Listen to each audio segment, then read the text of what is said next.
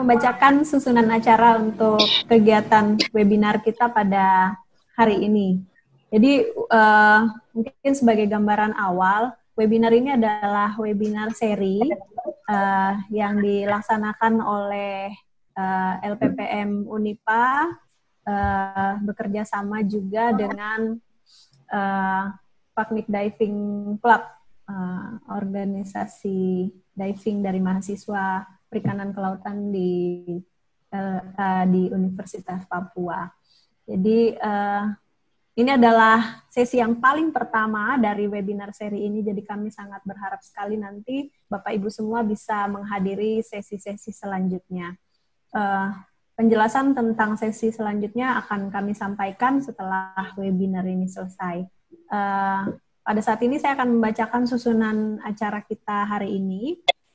Uh, jadi terima kasih untuk semua Bapak Ibu dan rekan-rekan semua yang sudah mendaftar melalui Google Form dan mendapatkan link uh, Zoom meeting kita melalui email dan uh, WhatsApp. Uh, kemudian saya sendiri sedang membacakan susunan acara. Lalu nanti 10 menit berikutnya adalah uh, pembukaan dari Ketua uh, Lembaga Penelitian dan Pengabdian Masyarakat Universitas Papua dari Pak Freddy Patiselano. Kemudian kita akan mulai langsung uh, moderator akan memperkenalkan narasumber kita pada hari ini kepada semua peserta dan um, nanti kita akan membagi ini menjadi dua sesi. Bagi Bapak Ibu yang uh, belum familiar dengan istilah bentang laut kepala burung Papua, tidak usah khawatir karena uh, kami akan uh, narasumber akan menyampaikan secara pengenalan tentang bentang laut kepala Papua. Ya, Lalu nanti di sesi kedua akan lebih spesifik tentang kondisi di uh, di bentang laut kepala burung. Sabar, saya pikir kakak dulu. Sebentar. 732. Oh, oke. Okay. uh, lalu uh, kita ada sesi tanya jawab selama 10 menit dan 15 menit uh, karena keterbatasan waktu uh, kami menganjurkan para uh, peserta bisa bertanya di kolom chat. Jadi nanti moderator akan memilih pertanyaan mana yang uh, akan dibahas di dalam sesi tanya jawab sesi 1 dan tanya jawab sesi 2. Lalu setelah uh, ini selesai nanti ada pembahasan tentang sesi-sesi uh, selanjutnya yang akan kami lakukan mulai dari bulan Mei ini hingga bulan Agustus. Ya. Jadi Sekian dari kami tim webinar. Untuk selanjutnya kami menyerahkan kepada Pak Freddy Patisalano selaku Ketua Lembaga Penelitian dan Pengabdian Masyarakat Universitas Papua untuk membuka acara kita ini secara resmi. Terima kasih. Baik, selamat pagi. Terima kasih Ibu Novi, Ibu Bapak, peserta webinar series yang berbahagia. Kita patut mengucap syukur karena hari ini dengan segala keterbatasan kita masih bisa mengikuti kegiatan diskusi online ini. Yang pertama atas nama Lembaga Penelitian dan Pengabdian pada Masyarakat mewakili pimpinan universitas, kami mengucapkan banyak terima kasih kepada teman-teman peneliti, juga semua yang sudah terlibat sehingga kegiatan ini boleh terlaksana dengan baik. Perlu kita ketahui bahwa bentang laut kepala burung Papua ini sungguh amat fantastis karena merupakan pusat keanekaragaman hayati, kemudian berperan penting dalam mitigasi perubahan iklim karena kurang lebih 70% memiliki hutan mangrove, juga merupakan pusat budaya yang unik karena kearifan lokal masyarakat pesisirnya, dan yang paling terakhir dan yang paling penting merupakan pusat kehidupan masyarakat karena 75% bergantung pada penghidupan dari laut. Nah, oleh karena itu bersama-sama dengan peneliti di bentang laut kepala burung,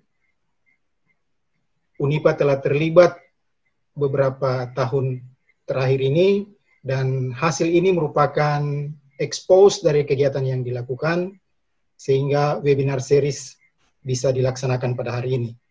Yang tercatat dalam catatan kami ada kurang lebih 120 peserta dari berbagai latar belakang dan kelompok peserta dengan umur 31 sampai 40 persen yang mendominasi, tetapi tidak mengurangi uh, niat dari teman-teman dari kelompok umur dan yang lain untuk terlibat. Dan ada beberapa teman peneliti dari LSM, juga perguruan tinggi. Kami mengucapkan banyak terima kasih sudah ikut ambil bagian. Dan kami juga menyampaikan banyak terima kasih kepada Ibu Neti Mongdong yang bersedia menjadi narasumber di pagi hari ini. Kiranya apa yang kita lakukan akan bermanfaat. Perlu kami sampaikan, ini adalah merupakan bagian awal dari sesi ini. Ada empat sesi ke depan yang nanti akan secara detail membicarakan hasil-hasil penelitian yang sudah dilakukan oleh teman-teman peneliti BLKB di Unipa yang kiranya bisa mendapat perhatian teman-teman peserta yang hadir atau yang terlibat pada pagi hari ini. Akhirnya, atas nama pimpinan Universitas Papua, kami menyampaikan banyak terima kasih kepada semua yang sudah terlibat tetapi kami juga menyampaikan terima kasih kepada teman-teman yang sudah mendukung sehingga kegiatan ini boleh dilaksanakan. Selamat berdiskusi, biarlah apa yang kita lakukan di pagi hari ini boleh menghasilkan sesuatu yang berguna sesuai dengan moto kita di Unipa, ilmu untuk kemanusiaan. Terima kasih. Ya, terima kasih banyak Pak Freddy untuk uh, sambutannya dan uh, sudah membuka kegiatan kita secara resmi. Selanjutnya saya akan serahkan kepada moderator Ibu Fitri Pakiding untuk uh, memulai webinar kita uh, di pada pada pagi hari ini. Terima kasih. Terima kasih Novi. Uh, terima kasih uh, semuanya yang sudah bergabung um, di webinar pagi ini. Uh, tadi Pak Freddy sempat mengungkapkan kelompok umur kita-kita yang ada di dalam.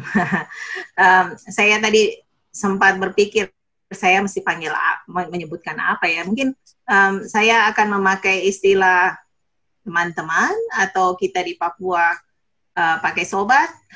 Uh, saya pikir saya masuk kelompok umur terakhir, jadi agak susah juga untuk uh, memanggil bapak ibu buat adik-adik yang masih uh, sangat pucuk. Jadi uh, saya pakai teman-teman saja ya uh, untuk menyapa kita semua. Uh, baik, pagi hari ini kita berkesempatan untuk mendengarkan um, pemaparan dari Ibu Meti Montong Mondong mengenai uh, bentang laut kepala burung. Tadi Ibu Novi dan Pak Freddy sudah menjelaskan kira-kira tujuan dari uh, webinar pagi ini. Uh, saya ingin sedikit, mungkin tidak semua uh, mengenal Ibu Meti, tetapi uh, kalau saya melihat dari daftar peserta, mungkin 80% sudah mengenal Ibu Meti, tapi saya akan memperkenalkan Ibu Meti kepada teman-teman yang baru bergabung atau baru berkesempatan bertemu secara virtual dengan Ibu Meti. Ibu Meti yang akan menjadi pembicara kita pagi ini uh, saat ini menduduki jabatan sebagai uh, direktur Berset Seascape, nama lain dari bentang laut kepala burung dalam bahasa Inggris uh, pada Conservation International uh, yang uh, berkantor di Bali uh, Ibu Meti bukan orang baru buat BLKB. Saya uh, tadi bercanda dengan Ibu Meti bahwa Ibu Meti mungkin tidak perlu lagi uh, mempersiapkan segala uh, teks untuk talknya, hanya perlu untuk uh, berbicara dengan kita karena beliau sudah sangat berpengalaman dan terlibat langsung dengan proses uh, yang terjadi, pekerjaan yang ada di bentang laut kepala burung. Nah, untuk uh, mempersingkat waktu, teman-teman sekalian, karena ini virtual, kita sering kali uh, mengalami banyak permasalahan uh, teknis terutama. Mungkin seperti kami di Papua, sering kali lampu padam tiba-tiba. Jadi nanti kalau misalnya uh, saya sebagai moderator tiba-tiba hilang, jangan panik. Itu pasti lampunya padam. Saya perlu waktu sedikit untuk uh, memperbaiki uh, sistem jaringan listrik di rumah. Uh, tetapi uh, nanti akan dihandle sama teman-teman yang lain. Uh, Ibu Meti sendiri uh, saat ini ada di Bali, jadi masih jam 9 buat teman-teman yang di Jakarta. Terima kasih untuk uh, sudah datang lebih pagi uh, dalam webinar ini. Uh, saya mempersilahkan Ibu Meti secara langsung untuk menyampaikan um, paparannya. Saya akan membantu untuk men-share screen Ibu Meti dari sini, jadi mungkin kami berdua akan banyak uh, berkoordinasi untuk uh, apa namanya mengatur slide presentasi Ibu Meti. Coba saya share dulu ya. Baik, Ibu Meti, untuk tidak memperpanjang waktu, silahkan uh, screen is, is yours. Selamat pagi dan terima kasih Bu Fitri atas kesempatan yang diberikan. Terima kasih kepada LPPM Unipah atas uh, apa namanya usaha untuk mengorganize webinar pagi hari ini. Pertama saya sangat senang virtually kita bertemu semua katanya 80% dari partisipan adalah teman-teman kita juga. Ini menandakan betapa kita sudah kangen satu dengan yang lain dan masih tersatukan begitu di uh, inisiatif konservasi di mana saja begitu dan masih ada semangat untuk terus belajar terus merefresh walaupun kita ada di rumah masing-masing dan tidak ada banyak kegiatan langsung di lapangan atau langsung dengan kegiatan uh, yang menyangkut konservasi dan inisiatif ini, tapi kita masih terus disegarkan, boleh dibilang begitu, dengan adanya uh, webinar seperti ini. Ini juga uh, bagi saya uh, satu satu hikmah ya, kita berada di rumah dan mulai membiasakan diri uh, bertemu, berinteraksi, bertukar pikiran lewat virtual media, sehingga ini juga cara untuk mengurangi carbon footprint kita yang dari mana-mana selalu apa travel dan um, apa me mengkontribusikan karbon sebenarnya. Nah, terima kasih uh, saya diberikan kesempatan untuk memulai sebenarnya uh, webinar serial webinar yang akan ada beberapa seri lebih detail, lebih fokus kepada uh, aspek tertentu di bentang laut kepala burung dan lebih general lagi di Papua Barat. Saya akan memberikan pengenalan, bukan pengenalan, lebih kepada apa uh, lihat kembali apa itu bentang laut kepala burung, terutama kepada adik-adik atau teman-teman atau siapa saja para partisipan yang baru uh, mendengar atau mengenal dan ingin mempelajari lebih jauh mengenai bentang laut kepala burung. Selanjutnya, presentasi saya, uh, saya berharap bisa fit kepada waktu yang diberikan akan mengenai apa bentang laut kepala burung ini. Uh, ada apa sebenarnya di sana? Kenapa dia begitu unik dan menjadi satu program yang yang cukup besar atau inisiatif dan mengapa ini begitu uh, penting bagi ekosistem, bagi manusia di sana dan bagi dunia secara keseluruhan. Kemudian bagaimana strategi pengembangannya, strategi membangun dan mengembangkan kemudian. Kemudian saya akan uh, ceritakan sedikit juga capaian-capaian sejauh ini yang bisa kita kita lihat. Saya bilang 10 tahun, tapi sebenarnya bentang laut kepala burung sudah lebih dari 10 tahun di, dikerjakan, belum lagi uh, begitu banyaknya inisiatif lainnya dalam konteks yang berbeda, tetapi di wilayah yang sama. Kemudian ada transisi pengelolaan sekarang seperti apa setelah dimulai pada waktu itu dan saat ini seperti apa pengelolaan yang dilakukan di sana.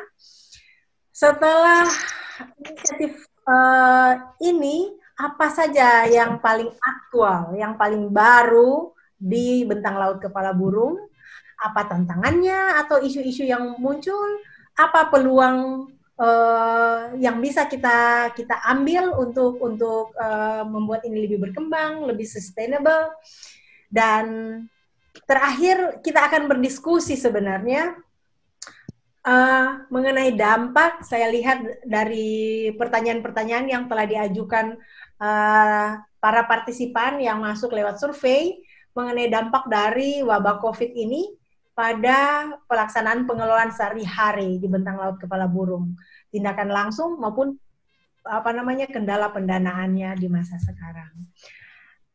Baik, saya akan mulai dengan apa itu bentang laut kepala burung.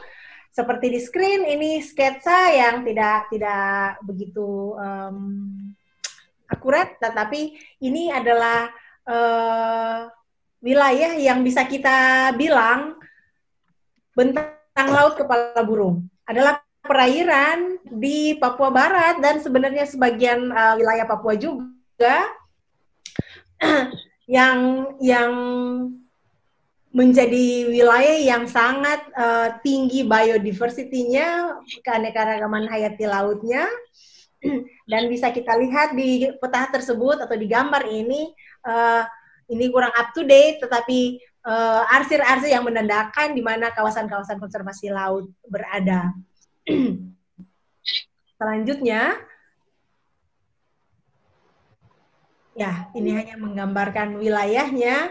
Ini satu, salah satu data terbaru. Kita bisa lihat di peta yang ada di sini. Secara dun, secara boleh dengan gambaran peta dunia, uh, Bird's Seascape kecil memang terlihat di sini, tetapi dari spektrum yang dilihat, dilihat di bawahnya, legend yang bisa kita lihat di, di bawahnya, memiliki tingkat keanekaragaman Haiti yang sangat tinggi, dia berada di paling kanan, yang paling pekat warna merahnya, dan itu terlihat di satu spot di tempat kita, di bentang laut kepala burung. Tadi saya agak uh, mundur sedikit, bentang laut kepala burung. Kenapa kepala burung?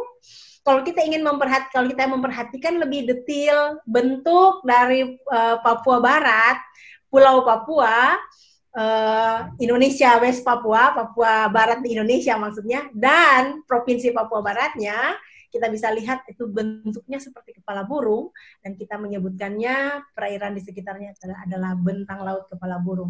Dan kalau kita lihat di peta ini, di figur ini memperlihatkan betapa kayahnya uh, keanekaragaman hayati yang ada di wilayah ini dibandingkan semua tempat di seluruh dunia. Ini ada data terbaru uh, yang bisa kita bisa kita copy dari sini. Saya tidak perlu menyebutkan sedikit satu demi satu angka yang ada yang memperlihatkan tingginya uh, keanekaragaman karang, uh, ikan, uh, apa namanya uh, yang highlighted di sini adalah juga pantai peneluran penyu beliming terbesar Pasifik yang ada di dunia yang tersisa sebenarnya dan begitu banyaknya spesies uh, megafauna mulai dari uh, mamalia, mammals, uh, sharks, rays, bobegong dan dan dan kelasnya ya dan keluarganya. Kita bisa lihat di sini. Lanjut Ibu Fitri. Ini juga salah satu tadi di level dunia uh, orang menggambarkan betapa tingginya keanekaragaman hayati di wilayah ini. Di Coral Triangle adalah satu uh, figur segitiga karang dunia di mana di segitiga karang ini memperlihatkan keanekaragaman atau terkumpulnya keanekaragaman hayati laut tertinggi dari sisi coral tetapi di warna ungu itu memperlihatkan di sini sudah disebut Raja Ampat Birds Head uh, Peninsula, tapi yang dimaksud adalah keseluruhan uh, Birds Head Seascape di situ merupakan uh, wilayah yang tertinggi di segitiga karang dunia ini. Jadi lebih kecil lagi di segitiga karang dunia di wilayah ini, uh, Birds Head Seascape adalah yang paling tinggi. Terus uh, figur selanjutnya di level Indonesia ada sebuah uh, expert mapping atau expert prioritization namanya. Para ahli dunia berkumpul bersama dan menentukan di seluruh wilayah koral yang ada di dunia ini mana wilayah yang paling priority dari sisi uh, kehadiran uh, marine biodiversity atau keanekaragaman laut ini. Dan coba kita lihat nomor satu adalah yang warna merah adalah Papua Barat. Itu adalah di bentang laut, ada di bentang laut kepala burung. Ini memperlihatkan betapa uh, istimewa bentang laut kepala burung ini. Selanjutnya, nah ini um, sama boleh dibilang saya tidak perlu panjang lebar di sini memperlihatkan wilayahnya uh, seperti apa. Terus Ibu Fitri? Nah, bagaimana strategi pengembangannya? Bagaimana kita memulai atau bagaimana uh, para partner NGO atau LSM dan uh, semua komponen dan lembaga-lembaga lokal, pemerintah, masyarakat, universitas, dan para pihak yang ada di bentang laut kepala burung ini memulai strategi ini. Kita memulai dengan yang namanya site characterization atau kita mempelajari bagaimana karakteristik wilayah ini. Bukan hanya uh, bioekologinya, biofisikalnya, uh, tetapi juga culture dan uh, budaya maupun um, sosialnya, bagaimana kehidupan masyarakat, bagaimana ketergantungannya kepada uh, sumber daya alam, bagaimana ekonomi, bagaimana uh, tenurialnya, keterikatannya dengan dengan wilayahnya, kita mempelajari itu untuk untuk tahu lebih jauh sebagai, seperti apa bentang laut kepala burung ini. Pada tahun dimulai tahun 2000 sampai 2003 TNC dan CI sebenarnya keduanya uh, berkolaborasi dengan semua LSM yang ada termasuk dengan termasuk WWF dan juga Unipa adalah salah adalah kelompok yang membuat banyak studi untuk mempelajari karakteristik wilayah. Kemudian langkah yang lainnya ketika kita mendapatkan tempat ini begitu luar biasa dari sisi marine biodiversity dan dan dan masyarakatnya, keunikan masyarakatnya yang begitu arif, ada fase yang kita sebut enabling environment Sebenarnya apa yang dimaksud di sini adalah program atau langkah-langkah, cara-cara dan uh, usaha untuk membangun kepercayaan masyarakat, adat, pemerintah lokal dan para pihak, baik di lokal, di, di wilayah setempat maupun di Indonesia untuk melihat wilayah ini seberapa pentingnya. Untuk menyadari bersama, membangun kesadaran bersama dan men, me, me, mengajak berkontribusi bersama pada wilayah ini mengingat betapa luar biasa, betapa penting wilayah bentang laut kepala burung ini. Pada saat itu ada begitu banyak kegiatan um, apa namanya penyadaran, edukasi di masyarakat, ada penerbitan uh, banyak tulisan media menggunakan berbagai banyak media, pertemuan maupun uh, cetak dan elektronik untuk membangun uh, pemahaman ini kepada masyarakat dan stakeholder lainnya. Ket enabling environment ini berjalan paralel dan serial juga yang dilanjutkan dengan yang kami sebut MPA establishment atau penetapan kawasan-kawasan konservasi laut. Ketika masyarakat adat dan pemerintah setempat melihat ini sudah siap dan wah ini benar-benar kita harus memprotek segera, harus melindungi segera, harus menghentikan semua eh, praktek-praktek perusakan dan ilegal yang ada di wilayah ini. ditetapkanlah pada tahun 2007-2008 itu mulai ada penetapan kawasan-kawasan konservasi di seluruh bentang laut kepala burung. Di Raja Ampat, beberapa kawasan konservasi diikuti oleh kawasan-kawasan lainnya, termasuk sebenarnya uh, satu kawasan yang sudah eksis sebelumnya, apa kawasan konservasi laut terbesar di Indonesia adalah Teluk Cendrawasih. Dilihat secara bersama integritas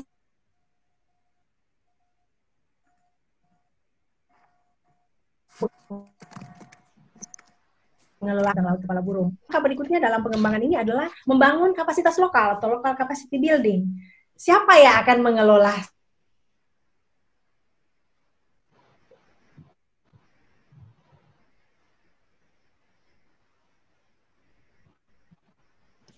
para pemilik wilayah ini sebenarnya.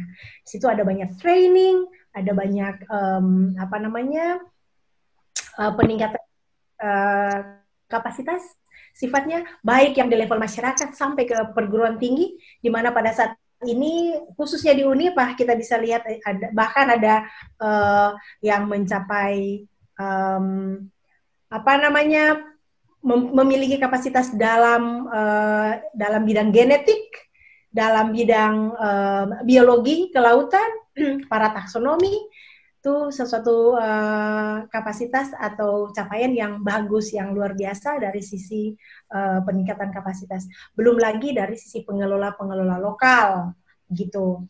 Contohnya hampir semua 80 70 80% persen dari pengelola kawasan konservasi yang ada di Bentang Laut Kepala Burung adalah anak-anak putra-putra terbaik masyarakat di Bentang Laut Kepala Burung sendiri. Selanjutnya yang kita sebut institutional strengthening itu salah satu langkah secara bersama juga paralel untuk menguatkan lembaga pengelola. Bagaimana pengelolaan yang spesifik yang unik ini di bentang laut kepala burung tidak hanya dilakukan sendiri oleh pemerintah, tetapi berkolaborasi dengan berbagai pihak. Jadi ada seperti tadi saya bilang anak-anak lokal atau masyarakat lokal terbaik yang terdidik, tertraining, memiliki kapasitas dalam mengelola, memiliki passion, memiliki ke, ke, ke, kesungguhan hati dan semangat untuk mengelola wilayah yang menjadi yang uh, diempunya yang dimiliki dalam sebuah institusi, dalam sebuah lembaga yang diakui para pihak. Bukan hanya dikelola oleh pemerintah, tapi dikelola bersama oleh masyarakat, sektor swasta, perguruan tinggi, terlibat dalam uh, mengelolanya. Kemudian suatu saat ketika uh, kita berpikir para mitra yang selama ini mendukung secara finansial pemerintah dan masyarakat lokal dalam mendemonstrasikan sebuah cara pengelolaan bentang laut kepala burung ini berpikir harus meneruskan pengelolaannya ini secara lebih permanen oleh institusi setempat. Tentunya para mitra bukan pengelola. Mereka adalah pihak-pihak yang seperti Conservation International ataupun lembaga uh, apa lainnya datang membantu mendengar dan membangun bersama bagaimana mengelola, tapi pada suatu saat otoritinya, kewenangannya harus ada di lokal dan salah satu kendala yang selama ini kita lihat adalah pendanaannya Tentunya konservasi dan wilayah yang sedemikian unik perlu mendapatkan pendanaan yang berkelanjutan sehingga ada dana yang bisa menjadi gap eh, menjadi apa pemenuh atau memenuhi gap yang ada pada pendanaan dari pemerintah yang kita sebut sustainable financing. Uh, belakangan saya akan berbicara mengenai uh, Blue Abadi Fund yang saat ini sedang dikerjakan oleh para para para penerima dana hibah atau para pengelola kawasan konservasi dan penggiat konservasi yang ada di bentang laut kepala burung ini. Terakhir, ini adalah situasi saat ini, situasi yang terkini di bentang laut kepala burung adalah saya sebut factual atau factual adaptive strategy atau penanganan masalah-masalah baru dan isu-isu baru uh, dan juga menangkap peluang-peluang baru. Jadi apa sekarang statusnya, levelnya uh, berada di mana bentang laut kepala burung ini. COVID adalah salah satu masalah yang paling baru muncul, tetapi ada masalah-masalah konservasi lainnya yang setelah semua tadi saya ceritakan dikembangkan, bagaimana bentang laut kepala burung bisa beradaptasi dengan situasi ini. Terus, Ibu Fitri? Ini hanya beberapa foto yang akan saya perlihatkan mengenai bagaimana site characterization, bagaimana tim dari Unipa terlibat dalam berbicara dengan masyarakat dan mendapatkan informasi mengenai uh, apa namanya social cultural dari masyarakat setempat. Terus gambar berikutnya ada ada apa namanya underwater characterization juga yang dilakukan oleh tim saya tidak uh, siapa di sini teman-teman sendiri yang melakukannya dan mendapatkan hasil seperti ini. Masyarakat Papua yang memanfaatkan dengan keragaman hayati lautnya. Ini gambar ini saya suka sekali karena bisa melihat bagaimana uh, masyarakat uh, style gitu tipe dan dan lifestyle masyarakatnya yang memanfaatkan secara sederhana dan lihat betapa uh, cantik dan uh, kayanya uh, biodiversity kelautan yang ada di bawahnya. Saya pikir Ibu Fitri kita akan ada jeda di sini untuk uh, satu tanya jawab dulu ataukah kita lanjut ke slide berikutnya? uh, terima kasih banyak Ibu Meti. Mudah-mudahan sudah uh, mencerahkan ya. Uh, kita sebenarnya bisa masuk dalam satu sesi uh, untuk uh, menjawab pertanyaan yang ada sebelum kita lupa. Uh, takutnya terlupa apa yang sudah disampaikan. Uh, apa ada yang sudah saya dibantu Novi untuk melihat pertanyaan uh, pertanyaan yang uh, mungkin sudah ada di ruang chat? Kalau belum ada, belum ada. Ada pertanyaan. Uh, saya bacakan pertanyaan yang sudah ditanyakan lewat ini ya, lewat uh, aplikasi. Ibu Meti, mudah-mudahan ini tidak terlalu sulit ya. Saya pick saja satu. Jadi ada pertanyaan tentang istilah Ibu Meki. Uh, ada uh, peserta yang ingin bertanya kenapa uh, di, ada banyak istilah untuk kawasan konservasi di bentang laut Kepala Burung. Ada yang menyebutnya kawasan konservasi laut, ada yang kan, kawasan konservasi perairan, ada yang kawasan konservasi perairan daerah. Uh, menurut Ibu Meti, atau atau bisakah Ibu Meti menjelaskan sedikit apa bedanya atau kenapa dia berevolusi seperti itu? Terima kasih, itu pertanyaan menarik dan uh, ya kalau orang yang kurang apa namanya ya dari semua government itu policy dan ya istilah-istilah ini. Ibu Meti sabar. Uh, mungkin host ada yang bisa tolong mute uh, apa namanya ini pesertanya uh, cukup mengganggu latar belakang suaranya. Ibu Meti bisa lanjut, sorry. Jadi istilah macam-macam itu ya, bentang laut kepala burung, ada BHS juga, dan kemudian ada kawasan penamaan kawasan konservasi yang macam-macam juga. Nah, kebanyakan inisiatif ini uh, dimulai bersama dengan uh, Departemen Kelautan dan Perikanan yang mempunyai inisiatif atau mempunyai program pelaksanaan kawasan atau pembangunan kawasan-kawasan konservasi itu di daerah. Kalau kita lihat kebijakan yang uh, sebelumnya, di mana kawasan-kawasan konservasi ada di uh, diatur um, di level nasional, di Departemen Perikanan dan Kelautan, kawasan-kawasan konservasi itu cukup desentralis, boleh bilang, cukup dikelola di level uh, pemerintah kabupaten yang saat ini barusan saja menjadi dinaikkan lagi sedikit resentralisasi sebenarnya disentralisasi kembali di provinsi. Tetapi eh, itu yang menjadi uh, latar belakang kenapa ada yang namanya kawasan konservasi perairan daerah.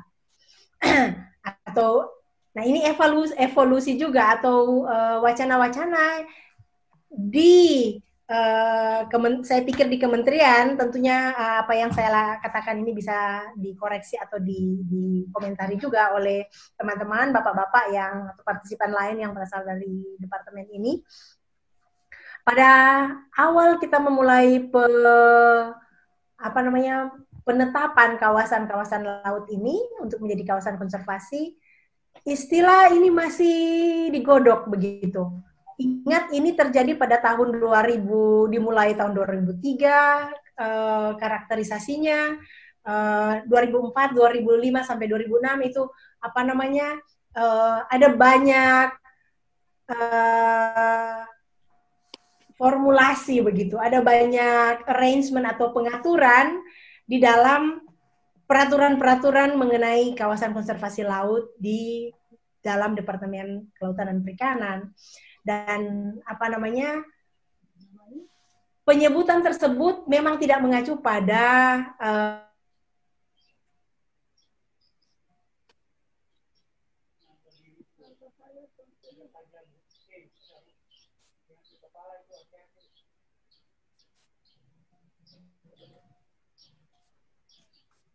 terpublish, tersosialisasi juga ke mana-mana. Dengan dasar yang belum begitu kuat mengenai nomenklaturnya.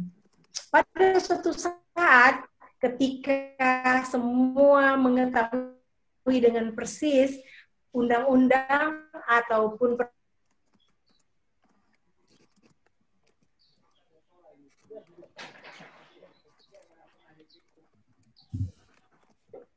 mohon maaf, mohon saya mohon maaf ter, ter, terputus koneksi internetnya.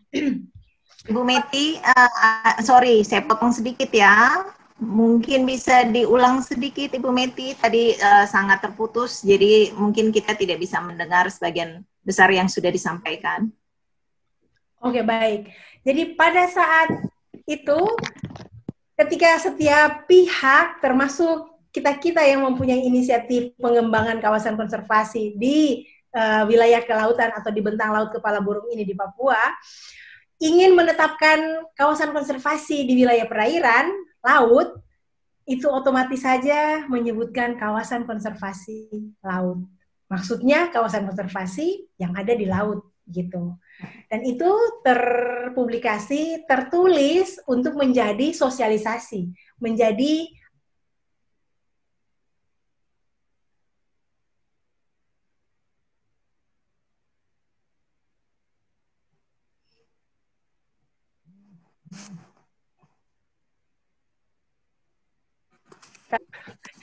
Jadi kalau ada telepon yang masuk kadang-kadang terinterupsi.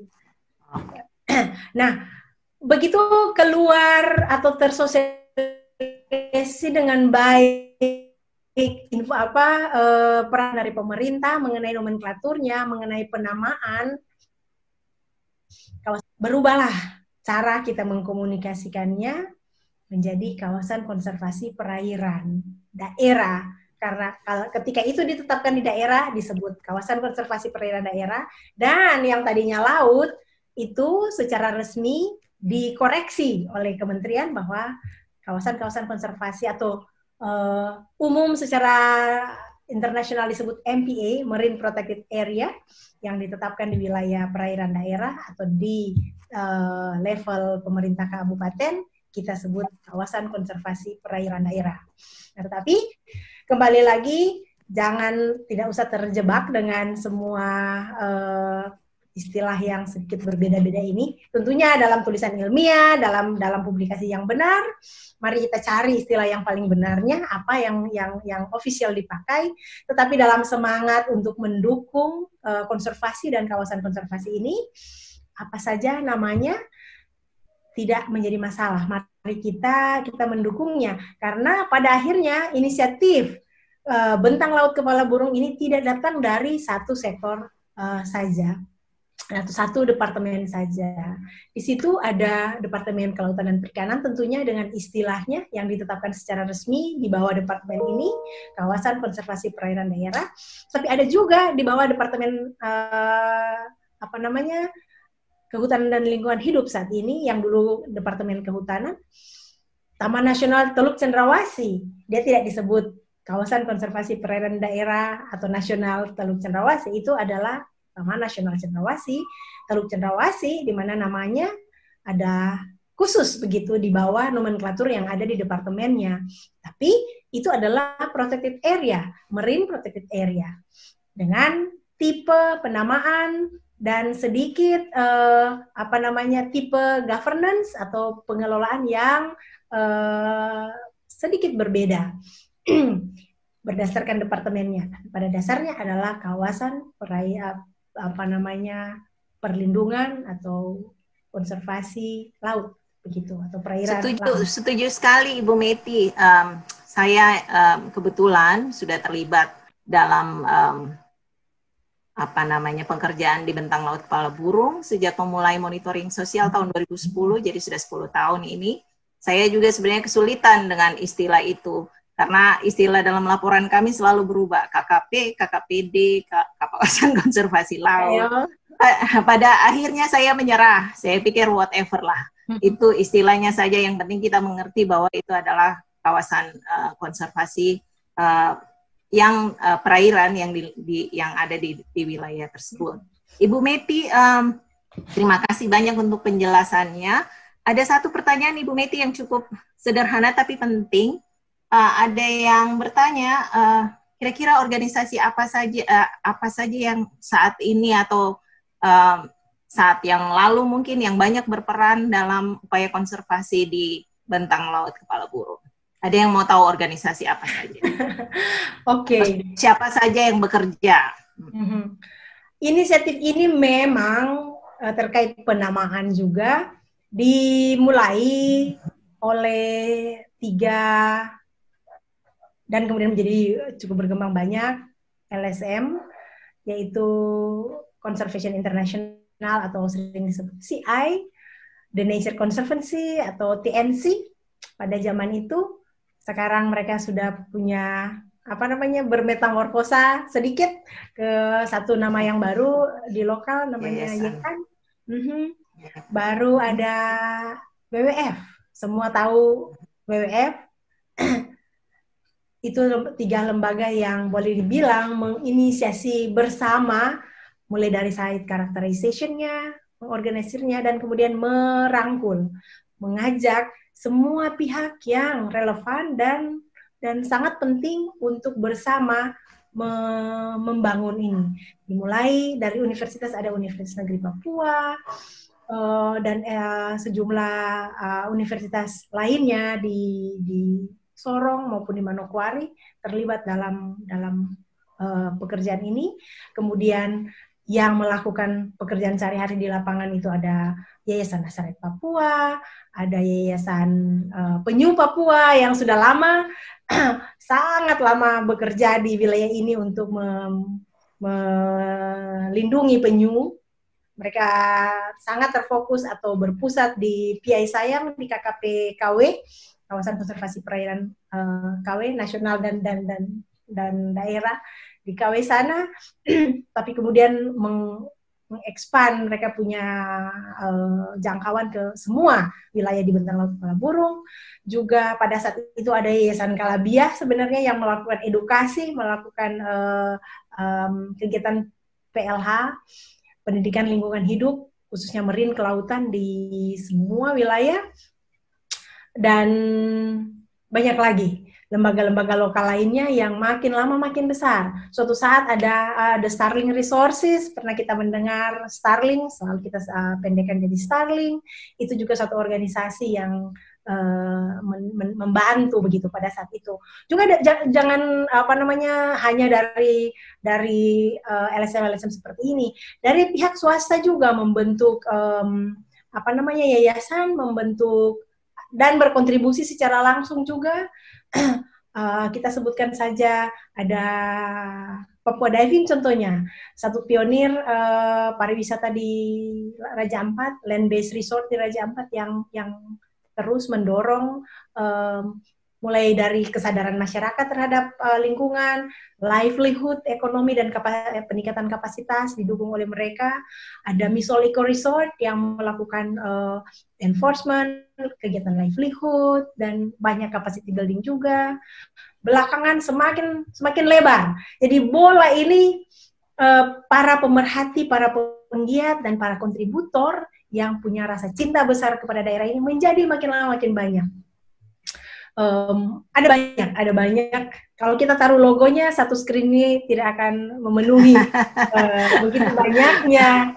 Uh, Baik, betul Bu Mei. Organisasi yang Iya betul. Saya COE tentunya, LPPM ya, adalah satu pemain yang paling ya. besar saat ini juga. Ya, saya pikir ini ya uh, Bu Meti, mungkin di atas peta uh, bentang laut kepala burung terlihat kecil, tetapi sebenarnya wilayahnya luas sekali sehingga perlu dikelola oleh banyak um, apa namanya institusi. Karena uh, walaupun kelihatan kecil tapi sebenarnya itu kalau kita naik perahu apalagi kole-kole tidak selesai kita tidak selesai kita uh, mengarungi lautnya. Uh, baik ini ini sekaligus mengantar kita ke pertanyaan satu pertanyaan terakhir Ibu Meti untuk sesi ini dari Ibu Indri Widiastuti di kolom chat Uh, tadi ada Ibu Meti menyebutkan banyak sekali institusi yang bekerja sama uh, melakukan inisiasi-inisiasi konservasi di wilayah bentang laut kepala burung. Pertanyaan Ibu Indri di sini, siapa instansi apa yang mengelola BLKB secara keseluruhan? Jadi siapa sebenarnya yang misalnya mengkoordinir uh, seluruh orang yang bekerja? Ada instansi kah uh, uh, apa namanya yang mengatur semuanya itu, Ibu? Hmm. pertanyaan yang sangat bagus. Siapa sebenarnya yang menjadi apa ya menjadi tuan rumah boleh dibilang uh, host atau house of seluruh BLKB manajemen atau pengelolaan BLKB. Ini satu yang menjadi diskusi yang belum berakhir.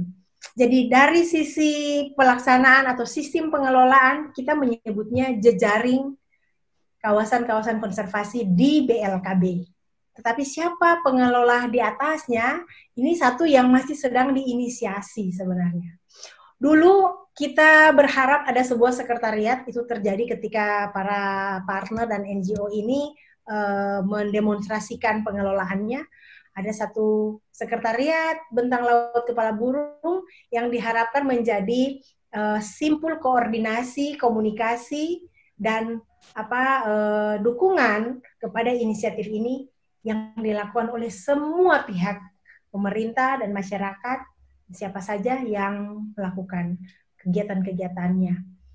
Namun demikian kita juga berpikir mengenai satu lembaga yang lebih permanen begitu ada di pemerintahan ataupun di masyarakat yang sebenarnya adalah eh, apa namanya tuan rumah yang benarnya pemerintah yang punya otoriti dan masyarakat yang tentunya memiliki wilayah itu juga masyarakat adat tentunya. Nah, sayangnya memang ada banyak pihak juga dari sisi pemerintahan. Ada pemerintah daerah di mana wilayah-wilayah konservasi itu berada, ada pemerintah provinsi di mana setelah era Undang-Undang 23 di mana pengelolaan dinaikkan di level provinsi harusnya menjadi pemersatu menjadi payung bagi pengelolaan di masing-masing kawasan konservasi di seluruh uh, provinsi atau di bentang laut kepala burung ini. Tetapi ada juga instansi lain seperti Departemen Kehutanan yang mengotoriti mem mempunyai kewenangan di kawasan konservasi Teluk Cendrawasih atau di Taman Nasional Teluk Cendrawasih yang harus di apa ya dikoordinasikan secara resmi begitu. Beberapa kawasan lainnya seperti pada Ido itu ada di wilayah Papua. Sehingga eh, pemerintah Papua harus tersambungkan boleh boleh dikatakan pengelolaan laut tersebut dalam inisiatif yang sama ini. Inisiatif untuk membuat satu satu rumah koordinasi atau pengelola yang dikatakan tadi instansi pengelola masih terus dalam prosesnya dalam dalam pembahasan. Ada rencana untuk penandatanganan MOU antar dua provinsi, Papua dan Papua Barat. Ada penandatangan MOU antara Departemen Kelautan dan uh, Kehutanan dan Lingkungan Hidup. Itu masih dalam inisiasi, dalam diskusi panjang untuk mencari formula yang paling paling mudah, yang paling mengakomodasi, mengakomodasi, mengakomodir uh, kepentingan dan membuat manajemen jadi efektif. Kalau berkoordinasinya membuat semuanya jadi bingung siapa yang melakukan sehari-hari dan dan tidak terdetailkan bagaimana itu akan menjadi uh, bumerang bagi pengelolaan itu sendiri sehingga kalau mau ditanya bagaimana siapa instansi yang mengelola, saya sendiri sebagai pengamat fasilitator dalam inisiatif ini belum bisa mengatakan instansi satu untuk semua. Kita masih membahas bagaimana koordinasinya, bagaimana satu forum atau satu lembaga yang bisa disepakati semua pihak mengkoordinir semua pengelolaan. Ya, uh, mudah-mudahan dalam waktu yang tidak terlalu lama ya Bu Meti ya supaya lebih mudah mengkoordinir semuanya dalam waktu. Baik Bu Meti, uh, ada satu pertanyaan lagi tapi lebih besar pertanyaannya saya pikir kita keep untuk uh, akhir kali ya dari uh, Albertus Kirikalo mohon maaf tidak bisa di uh, uh, akomodir pada pada sesi awal ini. Uh, Ibu Meti mungkin bisa lanjutkan sesi keduanya.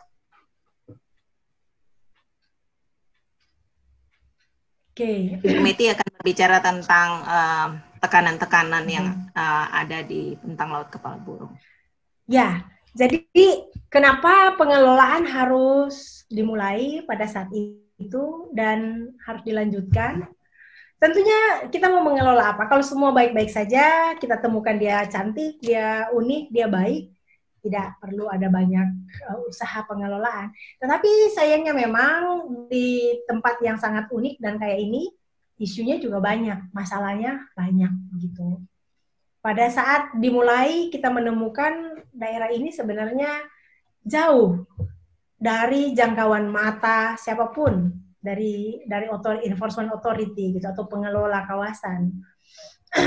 itu wilayah yang yang uh, luas sehingga dari sisi uh, logistik sangat mahal untuk dilakukan pengelolaan. Demikian juga dengan regulasi dan dasar pengelolaan belum ada sehingga apa saja bisa dilakukan di sini? Penangkap apa penangkapan ikan dengan menggunakan bom fishing menggunakan ada yang ilegal siapa saja bisa masuk dan mengambil. Uh, apa namanya spesies-spesies yang dilindungi juga diambil tanpa ada kontrol. Dan yang terancam punah diambil secara berlebihan. Itu terjadi terus. Itu uh, saya sarut uh, menaruh satu gambar di sini tadi menggambarkan uh, apa namanya ancaman pada saat itu. Terus Bu Fitri? Ya, ya. Mhm. Slide berikutnya. Hmm. Ini contohnya sekali satu tempat dibom atau berulang kali dibom sebenarnya lama sekali dia di recovery, di recovery atau dipulihkan dan uh, apa namanya ya itu hilang boleh dibilang itu sebabnya penanganannya sangat penting dilakukan. Nah kita masuk kepada inisiatif untuk pengelolaan.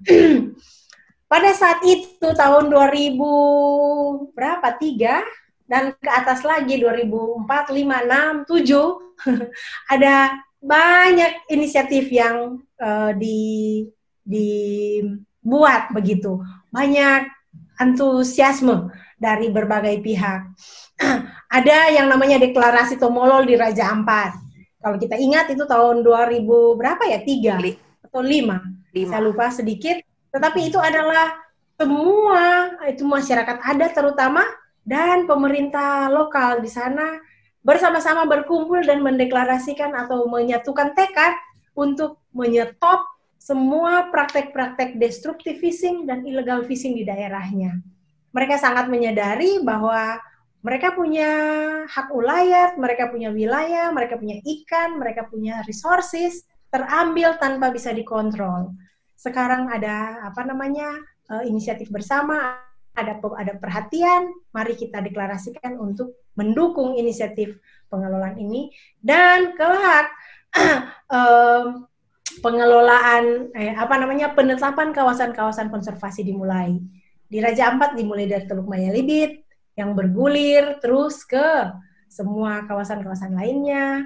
Suatu saat kemudian di Kaimana, barusan saja di Fakfak dan ada sejumlah inisiatif masyarakat adat yang meng, apa namanya mengusulkan wilayah adatnya untuk jadi kawasan konservasi eh, perairan, contohnya di Misol Utara. Pada tahun 2006, sebuah inisiatif untuk eh, bersama-sama mendukung pengelolaan ini juga datang dari berbagai pihak yang disebut ecosystem based management saya mau say hey. Saya pikir Pak Kris uh, Ratin Sulu ada bersama dengan kita di sini. Beliau dulu memimpin uh, inisiatif ini dan kita bisa lihat semua yang bertanda tangan di dalam piagam kesepakatan ini. Pada saat itu pemerintah dan para pihak, para partner berkomitmen untuk saling sharing data, saling uh, mendukung dengan uh, semua kapasitas ilmiahnya dan apa yang ada di lembaga mereka untuk mendukung masyarakat dan pemerintah daerah membangun bentang laut kepala burung. Terus Ibu Fitri bisa dilanjutkan, bisa di uh, klik slide selanjutnya. Ini 10 years hmm. Ini di masyarakat tadi saya bilang ada penetapan kawasan konservasi ini salah satu di mana masyarakat melakukan penetapan kawasannya secara lokal begitu, secara adat. Jadi di level masyarakat, di level pemerintah dan provinsi uh, bersama-sama punya inisiatif yang sama. Nah, berikutnya saya mau mengatakan setelah semua usaha-usaha tersebut, apa yang bisa kita lihat terjadi begitu? Kita peroleh. kita bisa bilang, kita bisa klaim dari 15 MPA. Ini sekarang ini sudah um, sudah sudah expire sebenarnya informasi ini. Data atau peta terbaru yang yang uh, apa dipublikasi sebenarnya di seluruh bentang laut kepala burung itu ada 21 kawasan konservasi diinisiasi oleh Departemen Kelautan dan Perikanan, oleh Departemen uh, uh, Kehutanan dan itu sebenarnya bahkan sasi-sasi oleh masyarakat. Itu jangan jangan dilupakan.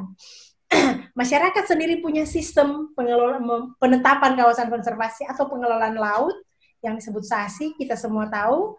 Dan itu menjadi luar biasa inisiatif di seluruh seluruh uh, di seluruh kawasan-kawasan uh, konservasi di bentang laut kepala burung ini. Dan bahkan contohnya di Raja Ampat uh, homestay homestay karena mendapatkan income dan benefit dari tourism di mana mereka tahu yang dijual adalah kawasan lautnya yang bagus memprotek rame-rame house reef-nya atau reef yang berada di sekitar pantai di mana mereka punya usaha berada diprotek atau dilindungi secara voluntary. Apa masyarakat kampung membuat ini tidak boleh dijadikan daerah pancing, cuman boleh dilihat saja, tidak boleh diambil. Itu ini inisiatif yang bagus saya rasa untuk mengembalikan semua sumber daya. uh, totally kurang lebih sekitar 3,6 apa teman-teman harus mengkoreksi ini ini sudah jauh lebih banyak sudah 4,1 juta hektar kalau tidak salah saat ini yang kita sebut tiara tanah cendrawasih atau mahkota.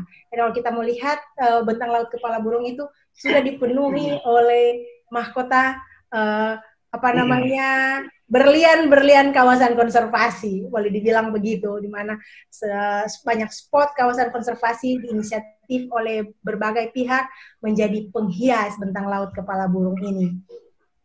Kemudian berkurangnya destructive fishing, kita bisa bilang masih terdengar bom ikan satu satu dua kali, masih terdengar orang ambil hiu contohnya, tetapi tidak seperti ketika ini dimulai jauh sebelumnya, tahun-tahun sebelumnya.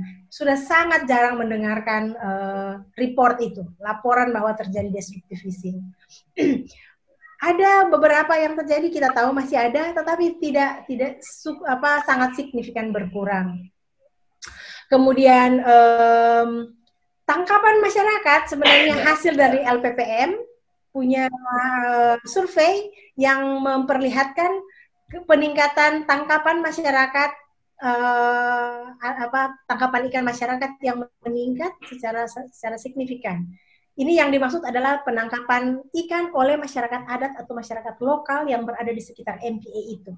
Bukan bukan yang di, ini dipisahkan seperti itu dan bisa kita lihat suatu saat bisa tanya kepada teman-teman pada Ibu Fitri dan timnya uh, data yang memperlihatkan hal ini. Kemudian apa namanya di sini saya menyebutkan Raja Ampat, tetapi di Abun, di Kaimana, di Fakfak kawasan-kawasan konservasinya dikelola oleh staf lokal. Di jauh-jauh melampaui 200 staf lokal, di Raja Ampat sendiri sudah 100 sekian kali lalu sebelum ada COVID. Tetapi kita bisa bayangkan dengan uh, di Abun sendiri atau di Yen Womom sekarang yang disebutnya, kemudian Fakfak dan Kaimana itu orang-orang lokal, anak-anak uh, putra lokal, putra setempat yang mengelola kawasan konservasi begitu banyaknya. Dua keuntungan dari sisi kapasitasnya maupun dari ekonominya, gitu. Kompetensinya, skillnya, pemahamannya itu meningkat maupun dari sisi ekonomi yang dibuat uh, di situ. Kemudian ada achievement lainnya di slide lain yang saya ingin perlihatkan, Bu Fitri silakan. Dari sisi dampak uh, tidak langsung dari pariwisata. Jadi dampak terutama yang kita tuju adalah sekuritasnya atau amannya pangan masyarakat. Ketersediaan ikan, protein masyarakat e, dari perikanan itu aman. Dengan adanya kawasan konservasi, masyarakat lokal yang tadi kita lihat di gambar awal, kebanyakan masih pakai kole-kole, eh, ibu-ibu, mama-mama yang suka memancing di sekitar kampung, dapat ikan terus. Gitu lebih mudah mendapatkan ikan dan tidak perlu jauh-jauh menggunakan bensin dan armada atau perahu yang yang yang cukup besar untuk menjangkau jauh karena di pinggir pantainya dekat-dekat kampungnya sudah tidak ada, sudah susah dapat ikan. Yang terutama adalah itu yang harus kita ingat. Kadang-kadang setiap kali kita lihat um, apa namanya kawasan konservasi, oh ke pariwisata itu kayak sudah otomatis. Namun demikian harus kita ingat terutamanya adalah untuk mengamankan ketahanan pangan khususnya protein masyarakat setempat. Tidak jauh cari ikan. Itu makan ikan, tidak makan kuit ya, atau tidak makan lainnya. Protein di pulau-pulau kecil datang dari ikan, sehingga dan itu sehat, sehingga harus kita pastikan ada terus. Namun demikian, dampak atau efek atau ya kita bilang eh, keuntungan lainnya yang tidak tidak kalah signifikan, yang kemudian menjadi ikonik, menjadi eh, tanda bahwa tempat ini tempat kawasan konservasi berhasil, orang selalu lihat dari kunjungan, dari pariwisata. Itu bukan tujuan terutama, tapi kalau kita mau lihat itu meroket uh, kunjungan ke bentang laut kepala burung karena adanya kawasan konservasi ini. Orang datang ke tempat ini untuk melihat keunikan bawah lautnya, keanekaragamannya, dan apa namanya um, melihat semua uh, spesies masih ada di tempatnya, masih melihat masyarakat melakukan pengelolaannya. Ini peta yang menggambarkan saya bilang tiara atau mahkota bentang laut kepala burung. Lihat semua warna-warna klaster dan arsiran-arsiran ini memperlihatkan di mana kawasan-kawasan konservasi itu berada. Terus Ibu Fitri, slide yang lainnya sebenarnya memperlihatkan saya bilang tadi efek pariwisata di samping ketahanan pangan masyarakat yang terutama dampak ekonomi yang dibawa dari pariwisata kelak kita harus atur ini karena ini juga pada suatu saat akan mulai uh, apa menjadi isu bagi pengelolaan dan sustainability dari kawasan konservasi dan dan keberadaan uh, apakah keanekaragaman hayati.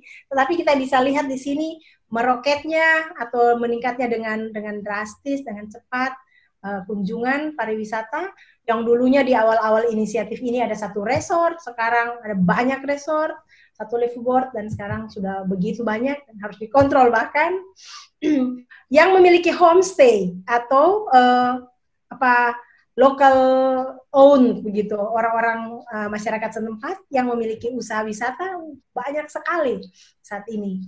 Terakhir kita akan bahas COVID karena berdampak pada hal ini, tapi keberadaan kawasan konservasi bisa kita lihat uh, secara ekonomi meningkatkan uh, ekonomi dari sisi pariwisata. Kita bisa lihat publikasi-publikasinya luar biasa, semua mau menulis.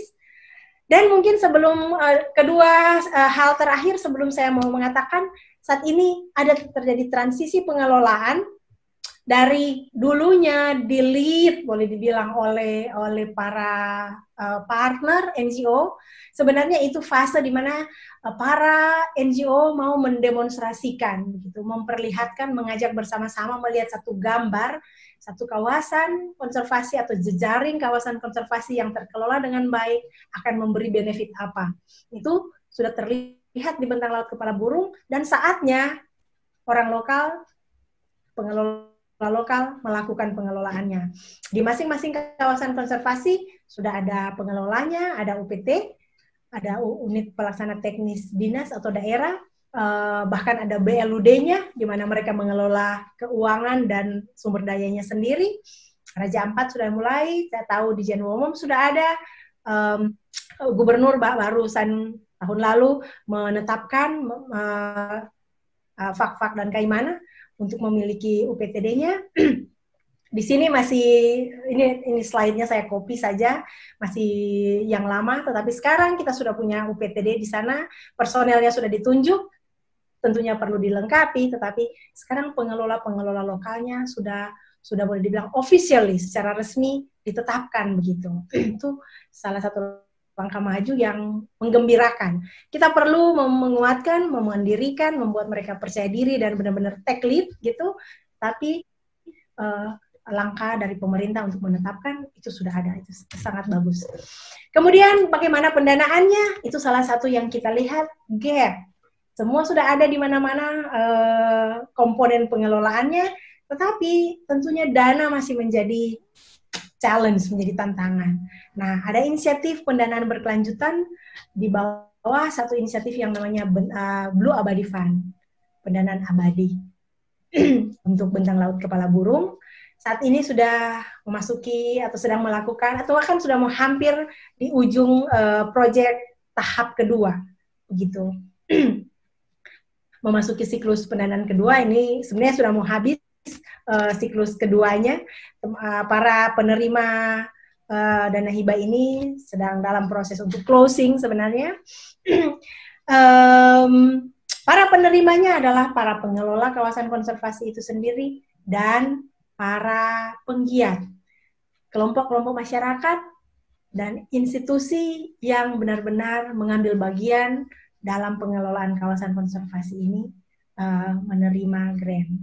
Tentunya ada pengajuan proposal, ada seleksi di situ untuk apa menyesuaikannya dengan strategic plan yang lima tahun strategic plan dari inisiatif ini dan kemudian uh, mengimplementasi. Dan ada banyak usaha untuk capacity building kepada para penerima grant ini juga sehingga grantnya benar-benar sampai kepada tujuan melakukan pengelolaan kawasan konservasi dan konservasi pada umumnya dan capacity building kepada lembaga tersebut dan masyarakat yang mendapatkan uh, keuntungan dari proyek yang mereka lakukan. Kita bisa lihat di informasi di bawah sini, kurang lebih 20 institusi penerima uh, dari small grant, ada seven, ada tujuh institusi primary grant, kurang lebih 40 miliar sudah tersalur tersalurkan.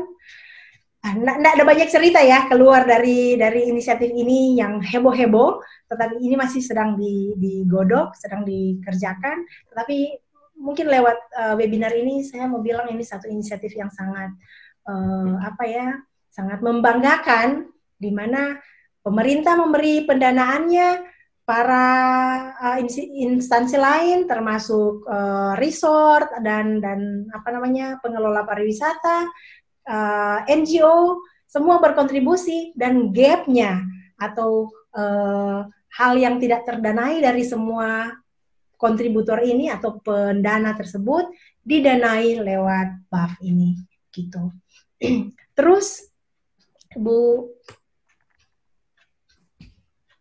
Bu Fitri? Saya terlewat. Mungkin baru terakhir di dari dari sesi ini. Mm -hmm. Yang baru di BHS. Saya mau cepat-cepat saja, sudah hampir habis waktunya. Mari kita lihat, ada tentangan. Pertama di BHS ini ada Undang-Undang 23 yang bagus sekali kita mendukung program pemerintah, tetapi untuk mentransfer semua pengelolaan yang sudah bertahun-tahun di diatur di masing-masing kabupaten diatur kembali, disusun kembali di level provinsi, itu satu tantangan besar untuk kapasitasnya, untuk pendanaannya, mekanisme dari provinsi untuk lihat kepada pengelolaan sehari-hari di bawah, koordinasi dengan kabupaten, itu satu tantangan. Kemudian meningkatnya turisme, di gambar ini kita bisa lihat ketika orang banyak tahu betapa unik, betapa kaya dan beraneka ragamannya bentang laut kepala burung, rame-rame mau datang, kita suka karena mereka membawa income, tetapi harus diatur. Karena kalau tidak, akan ada sampah, ada injak-injak karang, ada coret-coret, ada pengambilan biota dan macam-macam terjadi karena eh, apa namanya kehadiran turis yang tidak terkontrol tentunya. Ada pengembangan daratan. Eh, Papua Barat sedang apa gencar-gencarnya berkembang begitu, pembangunan. Dan semua suka pembangunan tentunya. Kita tidak mau tertinggal dan kita mau maju, tetapi kalau tidak hati-hati, dampak pengembangan daratan akan cepat ke laut. Dan kita punya primadona ini yang luar biasa mengangkat justru daerah ini akan cepat rusak pula. Jadi tantangan berikutnya adalah pengembangan daratan yang harus kita pikirkan bersama. Kemudian ada tantangan lainnya tidak begitu besar dan itu harus selalu kita kerjakan, tapi kapasitas pengelolaan program dan finansial para penerima grant BAF. Saya bilang ini kenapa? Karena uh, sekarang kita mendorong kita menguatkan para pengelola lokal. institusi di bawah pemerintah atau badan kolaborasi di bawah pemerintah seperti Blut UPTD dan dan apa NGO-NGO atau mitra-mitra LSM lokal dan kelompok masyarakat. Mereka sekarang yang menjadi pelaku usaha-usaha konservasi ini di lapangan. Nah, kalau kapasitasnya kurang dalam pengelolaan program dan dana, yang jadi adalah dana tidak sampai dengan benar, program tidak jalan dengan baik, konflik di antara uh, organisasi sendiri maupun masyarakat sekitarnya, dan dampak-dampak lain. Sehingga ini bagi saya adalah satu tantangan dalam apa uh, pemandirian pengelolaan secara lokal kawasan bentang laut kepala burung. Tantangan berikutnya Bu Bu Fitri, mungkin dua slide terakhir ini yang saya uh, bicara dan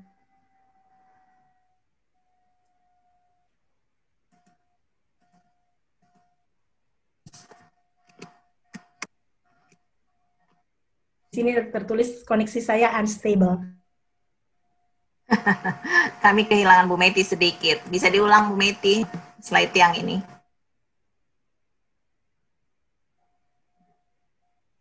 Putus? Um, bisa, bisa kedengeran sekarang. Coba Ibu Meti lanjut saja berbicara. Suaranya bisa sampai, cuman gambarnya agak tidak bisa. Um, gambarnya terputus. Bu Fitri? Iya, Ibu Meti boleh bicara saja. Saya, saya mendengar suara Ibu Meti. Teman-teman juga saya yakin bisa mendengar.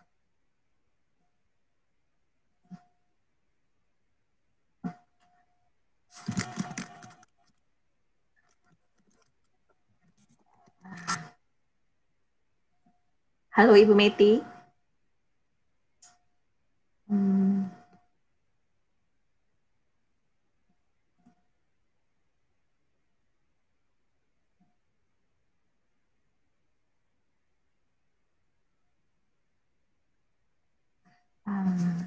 Halo.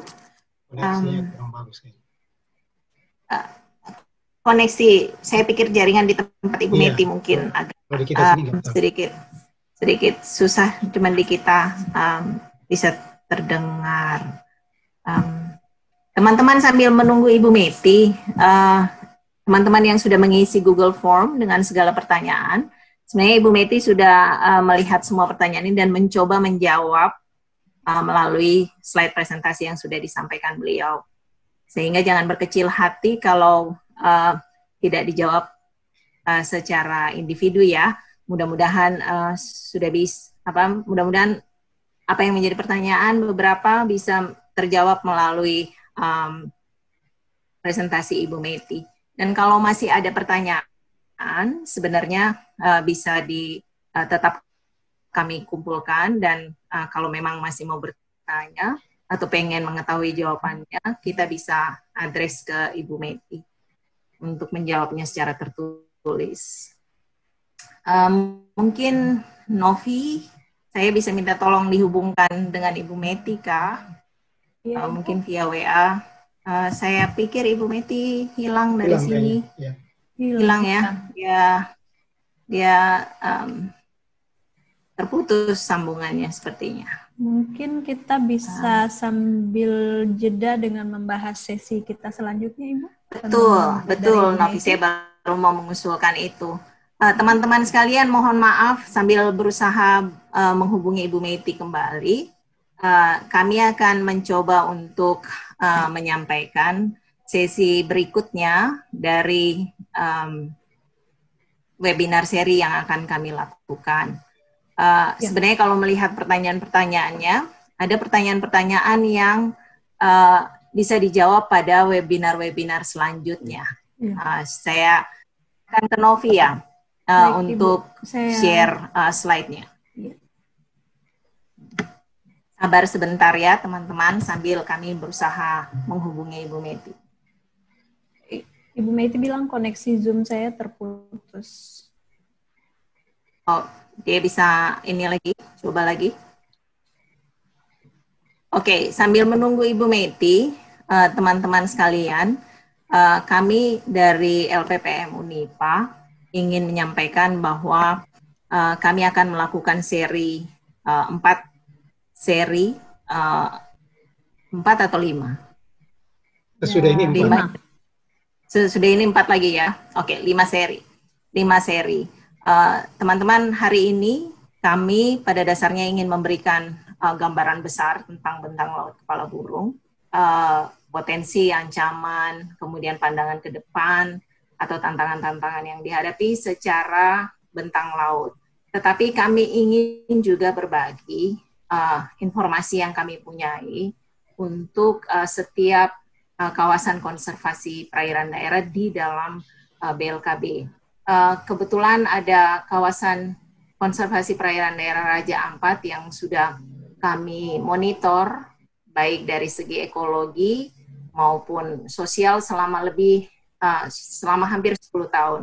Oleh karena itu ada banyak informasi, ada banyak uh, pembelajaran yang bisa uh, bisa kami bagikan melalui webinar ini. Nah, rencananya uh, webinar setiap sesi akan dilakukan dalam tiga episode. Um, ini katanya kami mengambil uh, mencontek ide drama Korea kata teman-teman yang mengerjakan webinar ini.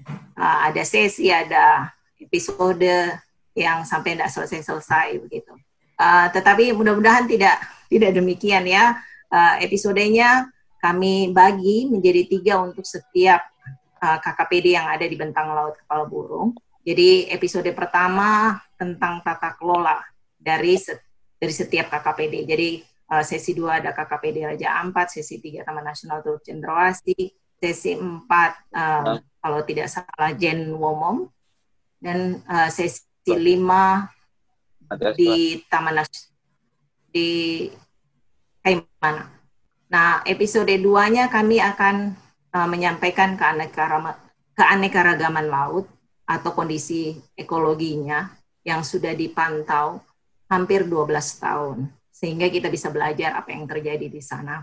Dan di episode 23 eh, episode 3 itu kita akan berbicara tentang uh, kondisi sosial masyarakat.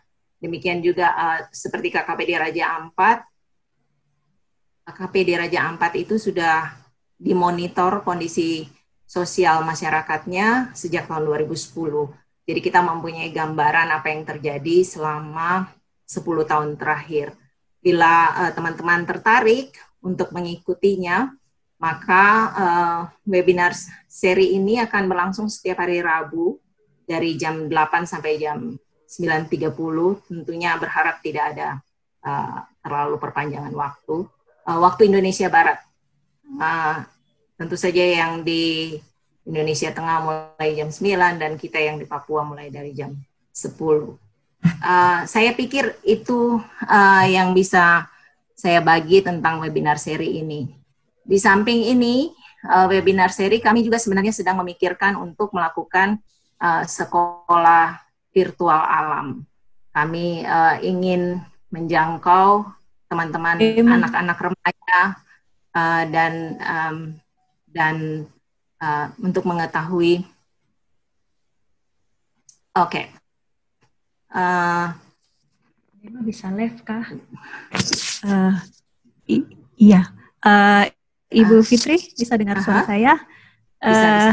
Ibu Meiti bilang uh, beliau tidak bisa masuk karena peserta sudah melebihi bisa 100 orang tapi Bema akan live dari meeting okay. karena Bema ada sama-sama okay. saya. Oke, okay, Bem bisa tolong Sambil kita menunggu Ibu Meti berusaha masuk ternyata ternyata uh, kuota kami cuma 100 orang. Mohon maaf Bapak Ibu. Uh, saya, ini saya dia artisnya. Ini dia artisnya. Oke, okay, uh, saya pikir itu tadi ya. Uh, kita uh, kembali lagi ke Ibu Meti untuk dua slide terakhir, terakhir. ya, ya, ya. atau slide Semoga semuanya masih betah mendengar ya sedikit. Nah, maaf ini astaga kalau teknologinya memang mem memberi keterbatasan seperti ini. Tidak apa-apa Ibu Meti, bisa dimengerti. Oke. Okay. Oke, okay. saya mau cepat-cepat saja. Tadi sudah ada tantangan baru. Tadi saya sudah menyebutkan tantangan-tantangannya, di mana ada tourism yang berkembang, ada governance, di mana ada undang-undang 23 yang mengharuskan pengelolaan di provinsi yang tentunya kita harus apa mendampingi tim provinsi untuk membuat pengelolaannya efektif di level itu. Kemudian ada tantangan dari sisi kapasitas para pengelola baru lokal di pemerintah dan kolaborasinya maupun uh, apa namanya lembaga-lembaga uh, lokal lainnya yang menerima uh, dana Blue Abadi. Tetapi juga ada ada ada semangat baru yang yang ada saat ini. Di mana ada MPA MPA baru yang dideklarasi atau diestablish kawasan-kawasan konservasi baru di bentang laut kepala burung ini yang menambah berlian-berlian tadi. Saya bilang ada Misol Utara, wah itu sangat giat masyarakat uh, Matbat dan Matlow di sana. Terus gitu menghentikan praktik-praktik ilegal di wilayah adatnya. FAM, Demikian juga di tempat-tempat lainnya gitu, bergerak. Ada fak-fak saya bilang e, mendeklarasikan kawasannya, ada Bintuni, ada Sorong Selatan. Wah, itu semakin lengkap saja begitu um, tiara tanah dewata ini. Tanah tan, uh, tanah cendrawasih ini. Coba kita lihat di sini apa namanya kawasan-kawasan baru yang masyarakat rame-rame mendeklarasikan. Sorry, sorry. Dan paling terakhir ini adalah apa namanya melihat semua antusiasme, melihat semua benefit yang dibawa dengan adanya penetapan kawasan-kawasan konservasi di bentang laut kepala burung ini, pemerintah kemudian eh, secara arif dan berani menetapkan kawasan uh, Papua Barat sebagai provinsi konservasi. Mengapa tidak? Mengapa mengapa tidak? Mengapa tidak gitu ditetapkan sebagai provinsi konservasi? Karena semuanya ada di sana. Bukan hanya keanekaragaman hayatinya, bukan hanya karena sumber daya alamnya yang berlimpah, tapi inisiatif masyarakat, ketergantungan mereka dan apa namanya uh, kehendak baiknya, willingness untuk mengelola kawasannya sangat tinggi di sana. Apa namanya ini yang menjadi uh, hal terakhir saya pikir di, dideklarasikan di wilayah ini uh, just recently. Dan saya mau taruh ini uh, ada presiden berkunjung ke Papua Barat Raja Ampat khususnya. Saya pikir cuma mau oh, saja tetapi uh, sebenarnya uh, ke uh, seruan ini kepada semua uh, bentang laut kepala burung. Mari kita lihat slide berikutnya. Dia ingin Presiden Jokowi Joko Widodo menikmati tahun baru 2016 di kawasan Raja Ampat Papua sebagai perwakilan sebenarnya dari bentang laut secara keseluruhan.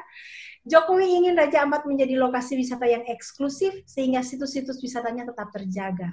Jadi dia bilang, kemarin saya sampaikan ke Menteri Pariwisata, di sini masukkan pariwisata yang high end betul yang apa namanya pariwisata yang yang yang sangat eksklusif, yang levelnya tinggi. Jadi mungkin harus mencoba menerapkan pengelolaan yang eksklusif juga begitu. Biar contohnya yang membatasi kuota dan sebagainya, biar hutan dan lautnya tidak rusak.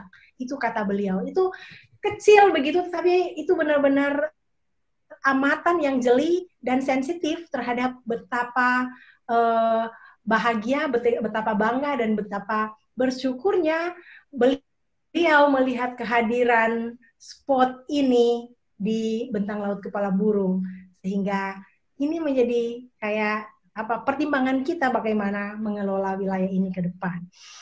Um, apa yang paling terakhir? Saya tidak perlu rencana ke depan. Ini saya pikir kita uh, skip saja. Sayangnya saya rasa ini tidak it's not a big deal saat ini. Saya rasa dalam waktu singkat ini, dalam waktu dekat ini ini akan apa lewat dan kita bisa melewatinya dengan baik-baik saja. Tapi memang saat ini ada hal ini. Ada wabah COVID di mana orang takut keluar. Bukan takut tapi diharapkan memang mengisolasi diri, jangan terlalu banyak interaksi kumpul-kumpul yang menyebabkan apa namanya rencana-rencana kerja bekerja bersama untuk mensukseskan kan kawasan-kawasan konservasi jadi terbatas juga. Bahkan masyarakat yang berpatroli setiap hari begitu jadi khawatir untuk keluar begitu dan bertemu dengan pihak-pihak yang datang di wilayah tersebut. Jadi ini sesuatu begitu membuka peluang kepada illegal practices begitu yang jangankan COVID bahkan peluru aparat saja ditakuti begitu kan atau malah mereka lebih takut COVID kali. Tetapi membuktikan gitu di beberapa tempat terjadi peningkatan illegal activities di wilayah-wilayah perairan, mungkin di daratan juga gitu. Ataupun masyarakat yang dulunya merasa ini harus benar-benar dijaga, ada suatu ada kesempatan begitu untuk oke okay, mungkin sudah tidak ada apa-apa lagi kita mulai melanggar begitu kesepakatan-kesepakatan. Memberi peluang pelanggaran mulai terjadi, memberi dampak ekonomi yang berpeluang pada tekanan sumber daya, mengurangi secara drastis uh, sumber pendanaan pariwisata karena kita tahu bukan hanya dari entrance fee atau uh, tarif jasa lingkungan, tapi juga kontribusi dari para investor pariwisata kepada pengelolaan dan kepada masyarakat jadi terhenti karena sumber pendapatannya juga terhenti. Jadi ini dampak yang saya pikir mari kita diskusi. Ada banyak langkah-langkah. Contohnya di Raja Ampat yang benar-benar terdampak dari sisi ekonomi pariwisata, dari mereka voluntary keluar homestay homestay bergerak dengan perahu sendiri dan menghentikan memberi penyadaran kepada orang yang masuk di, di, di dive spots di no take area untuk bilang jangan merusak ini karena setelah semua COVID selesai, turis datang kembali dan kita tidak menemukan apa lagi di bawah air. Jadi voluntary mereka berinisiatif. Resort-resort mereka berkumpul, mengundang berbagai pihak untuk berbicara dan apa namanya saweran untuk bagaimana mengurangi dampak ini kepada masyarakat dan kepada uh, pengawasan begitu. Kepada masyarakat untuk mengurangi dampak COVID sehingga ada alternatif makanan uh, tetapi juga kepada uh, enforcement authority supaya pengawasan tetap dilanjutkan gitu. Itu usaha-usaha masih terus ada. Saya mendengar cerita yang sama dari beberapa kawasan konservasi lainnya. Tetapi tetap ini masih menjadi tantangan karena pendanaan pemerintah juga jadi teralokasikan untuk penanganan uh, wabah ini, which is sesuatu yang kita juga um, uh, syukuri bahwa ada seperti itu. Cuma tentunya di satu sisi ada ada dampak yang kita tinggal saya tinggalkan uh, slide ini berupa kosong gitu. Mari kita diskusi bersama apa yang bisa kita apa kontribusikan idenya untuk mengurangi uh, dampak dari situasi sekarang ini. Saya pikir sampai di sini Bu Fitri, uh, saya akan stop. Terima kasih atas semua perhatian kepada presentasi ini dan uh, ya terima kasih. Teman-teman, uh, saya ingin bertanya dan mohon di mohon di apa namanya mohon dikonfirmasi atau mohon direspon. Ya kita sudah habis waktunya. Jadi uh, menurut jadwal kita 11.30 ada beberapa pertanyaan yang masih masih uh, perlu Ibu Miti jawab. Apakah kita masih mau membuka ini ataukah kita mau selesai sampai di sini dan Ibu Meti akan uh, mencoba memberikan jawaban? Uh, mungkin tertulis uh, bagi teman-teman yang uh, masih masih perlu penjelasan. Lanjut Bu. Lanjut. Lanjut. Oke, okay, bo boleh ditaruh di chat Mbak sehingga saya bisa lihat uh, uh, respon dari teman-teman atau kalau ada yang mempunyai kegiatan setelah ini dan dan boleh uh, dan harus meninggalkan meeting tidak apa-apa Uh, tapi kalau boleh boleh dilanjutkan, maka kita akan mencoba untuk uh, merespon beberapa pertanyaan. Baik, uh, saya mendapat beberapa komentar untuk lanjut. Wah, semangat semangat kita semangat pagi ini ya, Ibu Meti. Jadi saya coba dulu uh, merangkum pertanyaan dari uh, kolom chat ya, Ibu Meti. Hmm. Jadi ini ada pertanyaan dari uh, Pak Albertus Girekalo yang tadi saya sempat pending. Uh, saya bacakan saja ya, jika dilihat dari beberapa dokumen RPJMD, Pemda, baik provinsi maupun kabupaten atau kota, sangat jarang ditemukan dalam misi dan tujuan pembangunan yang berorientasi kepada konservasi. Bagaimana pengalaman teman-teman dalam mengencourage teman-teman di pemerintahan atau politik untuk mengakomodir hal ini? Hmm. Menarik ya. Bagus. Itu tantangan semua. Tantangan semua. Saya pikir pengambilan keputusan yang dibuat pemerintah juga sangat tergantung kepada animo masyarakat begitu. sangat tergantung kepada dorongan masyarakat.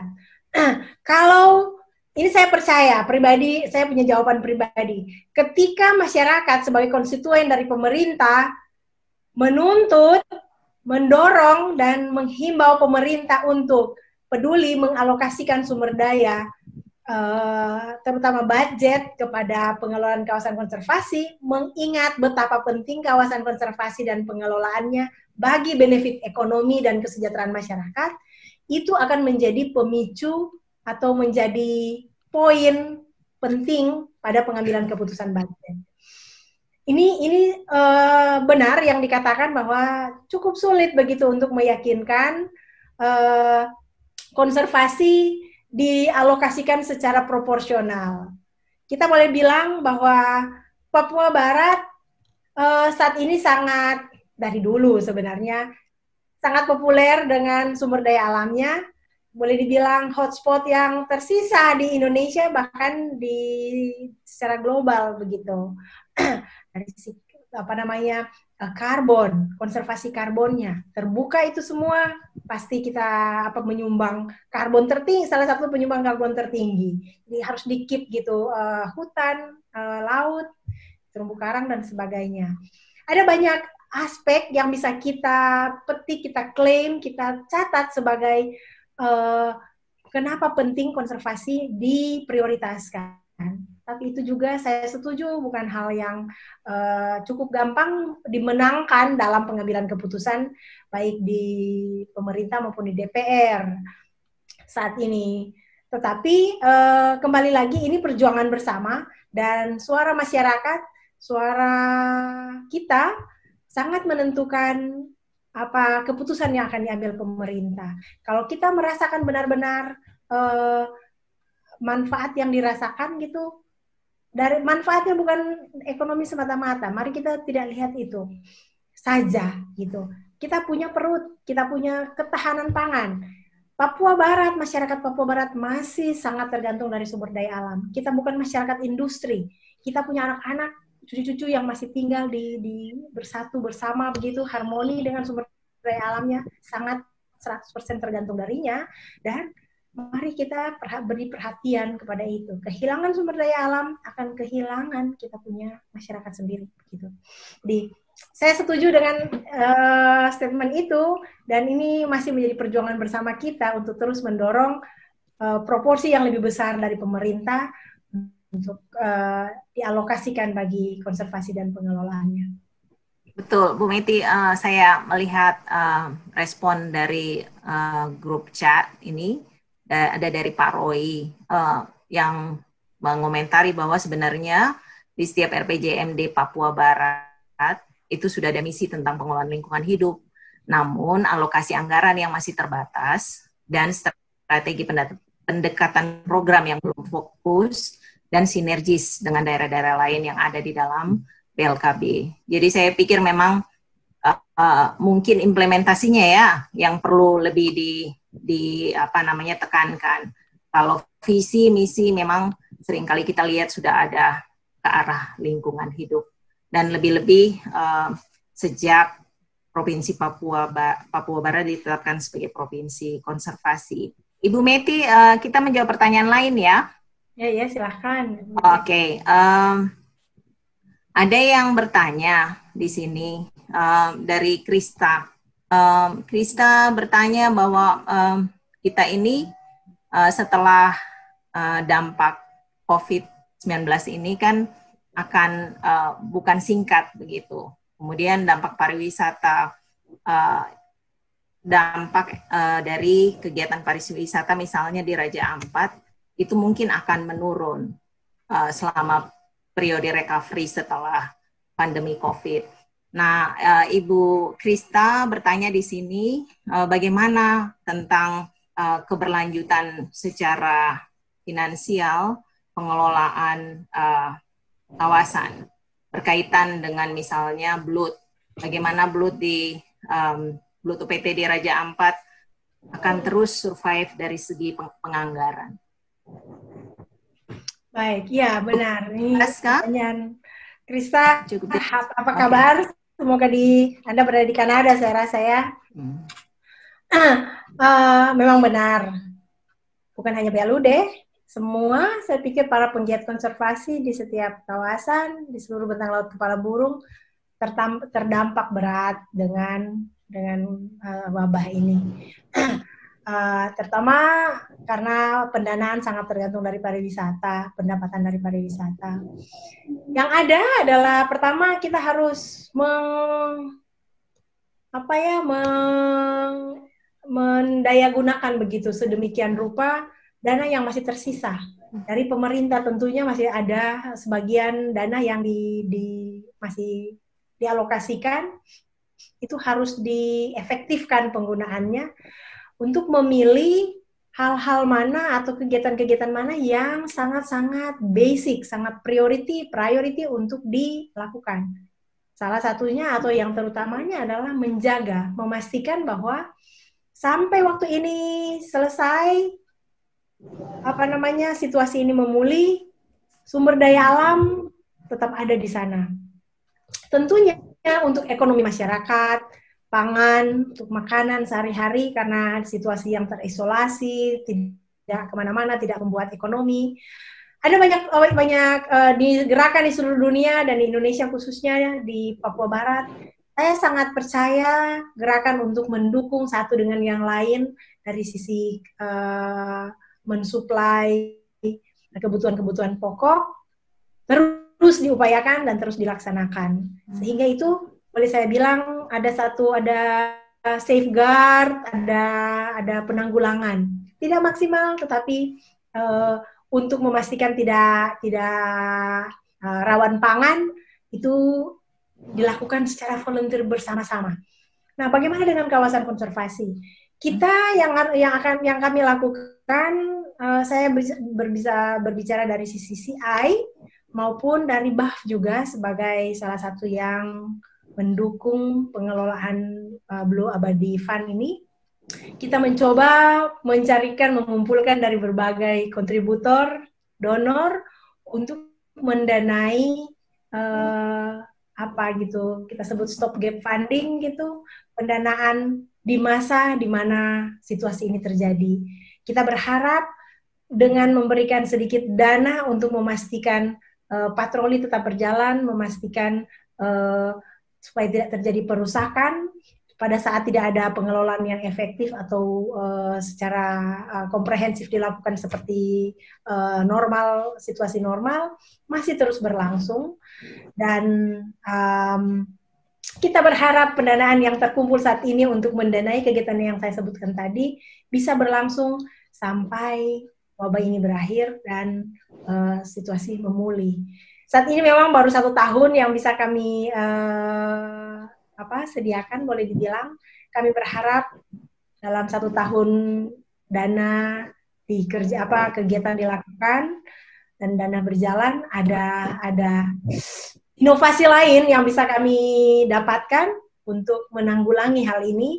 Dan boleh dan mungkin yang kami bisa push adalah kontribusi pemerintah kembali lagi melihat uh, situasi ini tidak hanya gitu. Tentunya kita mendukung uh, penanggulangan wabah COVID dan alokasi anggaran uh, khusus kepada masalah ini, tetapi uh, mari juga melihat ketahanan pangan pasca wabah ini gitu. Sehingga tidak menjadi satu wabah baru, satu masalah baru setelah wabah COVID gitu. Sama semua rame-rame panik karena sumber daya alamnya sudah ter, terhabiskan. Saya pikir itu memang tantangan, tidak ada jawaban yang sangat uh, apa memuaskan saat ini, tetapi usaha-usaha dari berbagai pihak dan dari kami sendiri terus uh, berusaha menggalang dukungan dana khususnya supaya uh, aspek pengelolaan yang paling basic di kawasan-kawasan konservasi maupun yang digerjakan oleh para grantee atau para para penggiat konservasi di BLKB masih terus berlangsung. Seperti itu. Ya, terima terima kasih banyak Ibu Meti penjelasannya. Saya pikir juga um, uh, luar biasa upaya yang dilakukan melalui Blue Abadi Fund dalam upaya um, me mengatasi gap yang ada mungkin setelah COVID karena kita tahu semua orang lagi susah ya di mana-mana jadi memang uh, apa namanya uh, bersyukur sekali ada ada kesempatan satu tahun lagi uh, kita bisa terus bekerja di bentang laut kepala burung dengan support pendanaan yang ada. Oke, okay, uh, ada satu pertanyaan lagi mungkin kita batasi sampai uh, uh, 11.45 ya teman-teman semua. Uh, ada pertanyaan dari Ibu Jumiati Mustia. Saya bacakan aja ya, uh, Bu Meti. Pendekatan pemberdayaan masyarakat di kawasan konservasi sebagian besar arahnya selalu pariwisata. Padahal masyarakat kampung yang terlibat di industri pariwisata hanya satu persen. Apakah ada pemberdayaan di bidang produksi uh, lainnya, misalnya produksi ikan atau budidaya? Ibu Meti mungkin bisa uh, mengadres itu.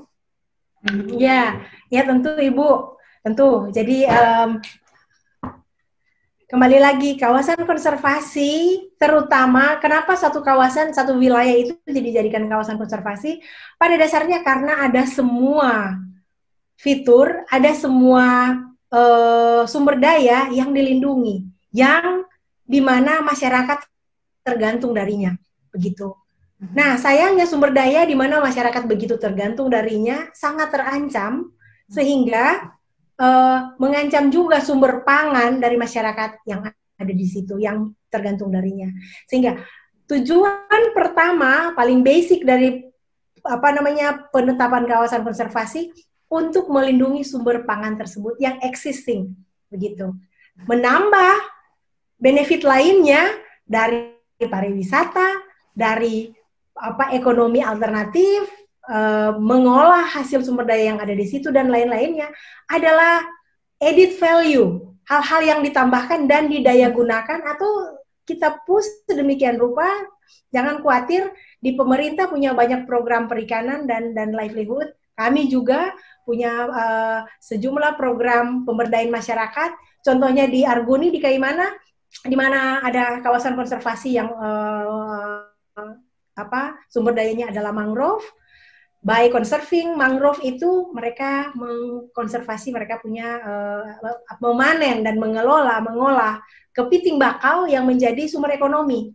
Jadi kalau bakaunya dipotong di, dihabiskan semua kehilangan uh, kepiting bakau yang menjadi ekonomi uh, terutama bagi masyarakat setempat dan kami mendorong supaya um, apa namanya memfasilitasi masyarakat setempat supaya pengolahan, memanen dan mengambil kepiting bakau itu berkelanjutan dan membuat ekonomi lebih bagus daripada yang sehari-hari mereka lakukan sebelumnya. Itu salah satu yang didorong. Dan juga kita mencoba melihat peluang-peluang usaha lainnya. Di farm ada pembuatan vi, apa VCO dan sabun. Kecil terasa tetapi banyak sumber dayanya mereka banyak kelapa banyak wisatawan yang datang dan mereka menjual membuat ekonomi. Di Misol teman-teman TNC dan dan kelompok-kelompok di sana uh, membuat abon ikan dan cukup bagus pemasarannya. Demikian juga di Teluk Maya Libit kawan-kawan rare mendampingi kelompok masyarakat untuk uh, membuat terasi yang dari packaging yang biasa menjadi premium, menjadi uh, lebih ekonomis begitu, lebih lebih bagus uh, marketingnya. Dan banyak lagi usaha lainnya kecil-kecil memang, tapi terus dicarikan uh, bagaimana pemberdayaannya untuk membuat itu lebih um, lebih membuat ekonomi begitu atau membuat benefit bagi masyarakat yang berada di dalam kawasan konservasi atau di pesisir secara umum di bentang laut kepala burung. Tapi kembali lagi kepada dasar penetapan kawasan konservasi tadi untuk melindungi sumber pangan yang sudah ada memang. Kalau itu tidak terlindungi, masyarakat akan kehilangan bukan bertambah. Jadi kita melindungi yang ada dulu begitu, yang sudah ada, yang selama ini masyarakat tergantung dan hidup darinya. Kalau itu hilang, otomatis ikut hilang juga uh, kesempatan kesempatan ekonomi dan ketahanan pangan. Yang lain-lainnya adalah penambahan membuat dia lebih efektif lagi. Itu yang bisa saya jawab. Ya, uh, setuju. Um, dan Mbak Meni mungkin nanti kalau sorry Ibu Jumiati, biasa kami panggil Mbak Meni.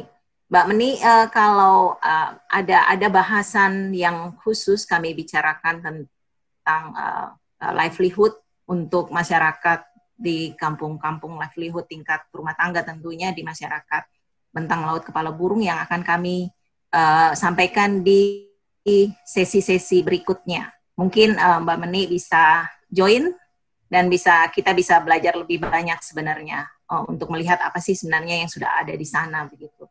Sehingga uh, kemudian kita bisa membuat uh, terobosan-terobosan atau karya-karya yang inovatif untuk uh, program-program pemberdayaan masyarakat, terutama dengan memanfaatkan dana desa yang sebelum COVID ini uh, kita tahu sama-sama lebih banyak diperuntukkan untuk infrastruktur.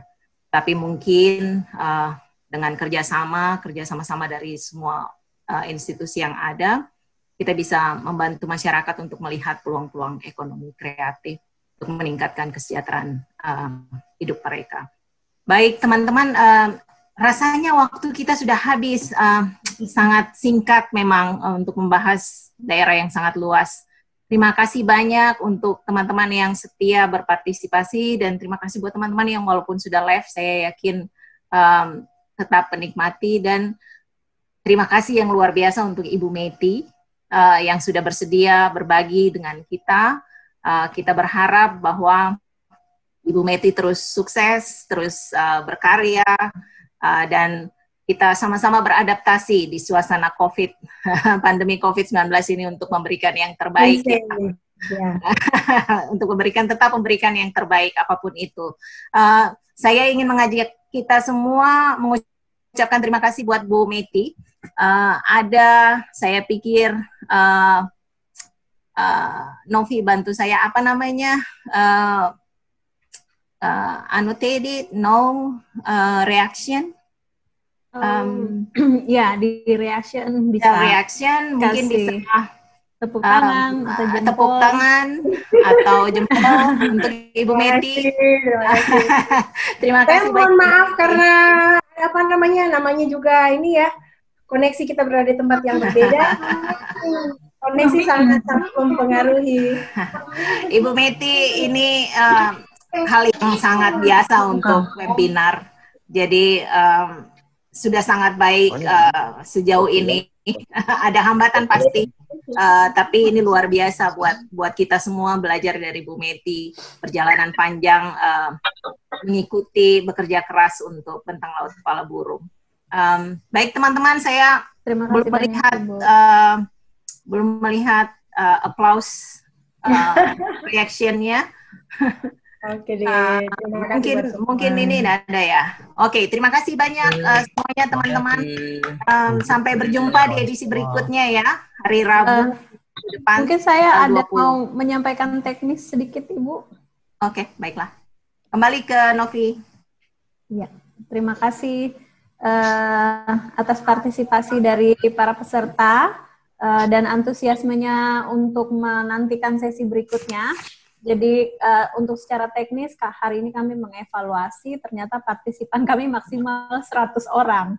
Jadi uh, untuk berikutnya agar kita bisa menerima lebih dari 100 orang nanti untuk para partisipan juga bisa bergabung di YouTube. Kami akan buatkan secara live jadi ada uh, bisa memilih masuk di Zoom ataupun masuk di YouTube gitu sehingga kita bisa menerima lebih dari 100 orang. Kemudian untuk file PowerPoint dari narasumber tadi ada yang bertanya, kami akan share melalui email apabila kami mendapatkan izin dari pemateri. Dan ini berlaku untuk semua materi-materi yang nantinya uh, akan di-sharingkan di webinar ini apabila didapatkan izin kami akan share melalui uh, email. Akan tetapi uh, kalaupun kami tidak bisa men-share filenya, uh, semua sesi ini akan kami rekam dan kami juga akan upload di akun YouTube kami sehingga teman-teman uh, yang mungkin juga terputus pada saat mengikuti webinar karena koneksi ataupun karena uh, ada rapat atau kegiatan yang lain masih bisa menyaksikan